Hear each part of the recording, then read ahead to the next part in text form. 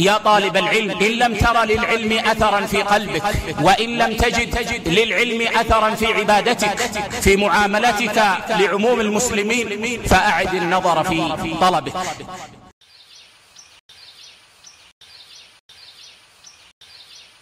فالمؤمن الموفق يعلق قلبه بالله ويسأل الله عز وجل موحدا لله سبحانه وتعالى.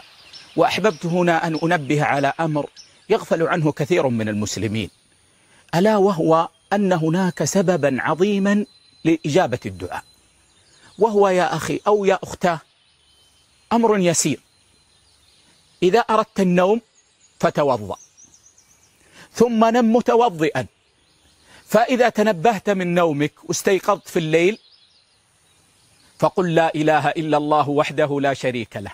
له الملك وله الحمد وهو على كل شيء قدير. الحمد لله وسبحان الله ولا إله إلا الله والله أكبر ولا حول ولا قوة إلا بالله. ثم قل اللهم اغفر لي أو ادعو بما شئت. فإنك موعود بأن يستجيب الله دعاءك على لسان رسول الله صلى الله عليه وسلم. صح في البخاري أن النبي صلى الله عليه وسلم قال من تعار من نومه فقال لا إله إلا الله وحده لا شريك له له الملك وله الحمد وهو على كل شيء قدير. الحمد لله وسبحان الله ولا إله إلا الله والله أكبر ولا حول ولا قوة إلا بالله.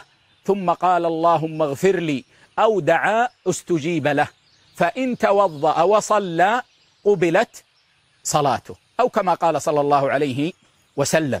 فمن تعار من نومه من تعار من الليل. فقال ومعنى تعار؟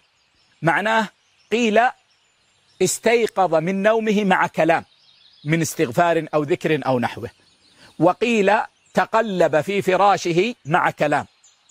وقال بعض أهل العلم معناها انتبه. والذي يظهر لي والله أعلم أن المناسب لهذا المقام أنه انتبه فانتبه من نومه وهو في فراشه. فقال هذا القول ثم دعا استجيب له. وهذا الحديث في صحيح البخاري. وجاء عند ابن ماجه أن النبي صلى الله عليه وسلم قال ما من عبد بات على طهور ثم تعار من نومه فسأل الله شيئا من أمر الدنيا أو أمر الآخرة إلا أعطاه. وصححه الشيخ الألباني رحمه الله عز وجل. ما من عبد ما تقتضي العموم بات على طهور يعني بات على وضوء بات متوضئا. ثم تعار يعني انتبه في الليل. فسأل الله شيئا من أمر الدنيا أو أمر الآخرة إلا أعطاه. وهذا وعد صادق على لسان رسول الله صلى الله عليه وسلم. لا نشك فيه.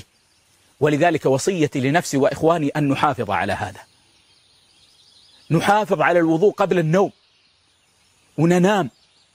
فإذا استيقظنا تقلبنا في فراشنا لأي سبب من الأسباب.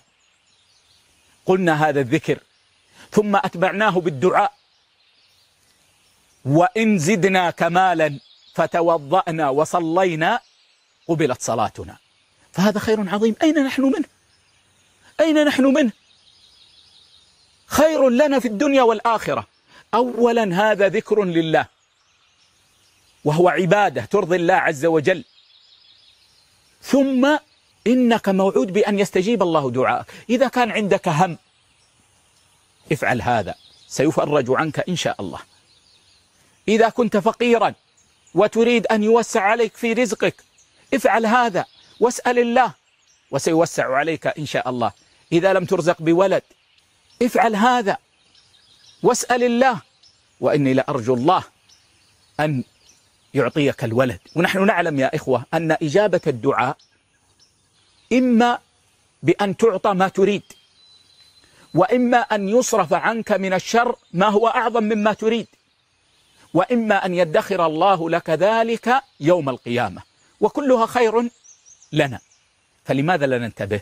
لماذا لا نحرص على ما أخبرنا به النبي صلى الله عليه وسلم؟